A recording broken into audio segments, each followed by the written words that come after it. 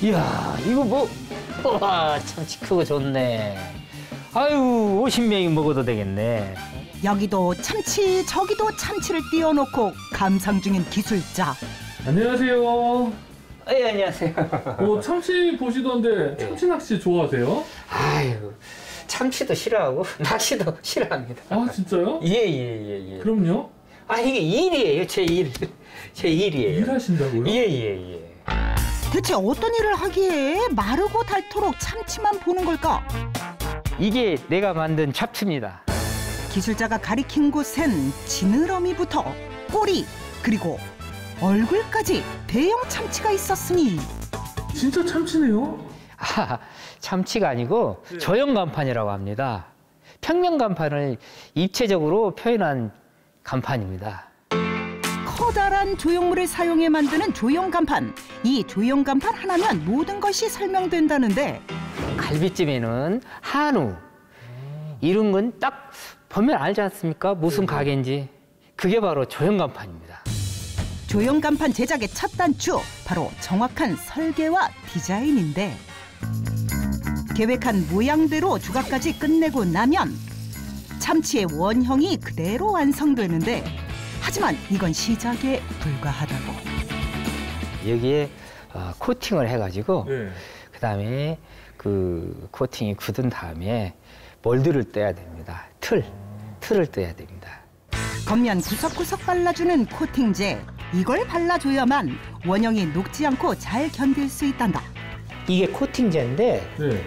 보통 그 물, 탈크, 그다음에 규산, 수성, 색소 이렇게 네 가지를 섞어서 어, 조색해서 사용하고 있습니다.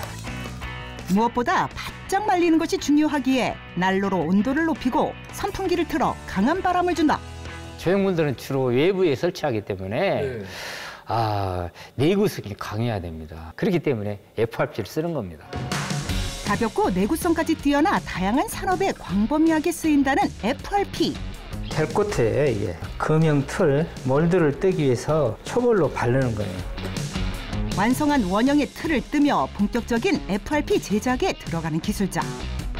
이 과정에서 절대 빼놓아선 안 되는 것이 있다고 기술자가 겹겹이 쌓고 있는 이건 FRP를 찍을 때 이 유리섬유가 들어가지 않으면 튼튼하지가 않아요. 제품의 튼튼함을 책임지는 필수 재료 유리 섬유. 이렇게 유리 섬유를 쌓고 난 뒤 경화제를 꼼꼼히 발라 굳히고 나면 양쪽 하나씩 찍어낸 다음에 그걸 결합했을 때 네. 이러한 제품 완성됩니다. 딱딱하게 굳은 조형물이 그 모양을 얼추 갖추면 다음 작업이 남아 있는데 이게 제품이 나왔는데 네. 제품이 나와도 표면이 거칠어요. 자연스럽게 하기 위해서 사포질을 해야 됩니다.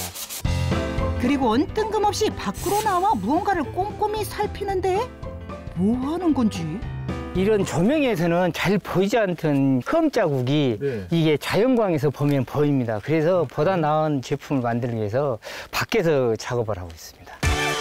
작은 결점 하나도 허락하지 않는 섬세한 작업이 이어지고 마지막으로 한 번 더 채색해 마무리하는데 이렇게 여러 공정을 거쳐 색채와 코팅 작업까지 마무리해주면 드디어 조형 간판이 완성됐습니다.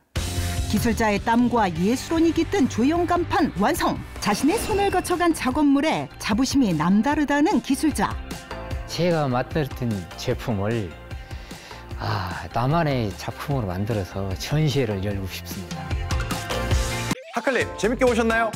대한민국 과학 전문 방송 YTN 사이언스의 유익한 컨텐츠를 더 보고 싶으시다면 여기 여기를 누르시고요. YTN 사이언스 구독도 부탁드릴게요.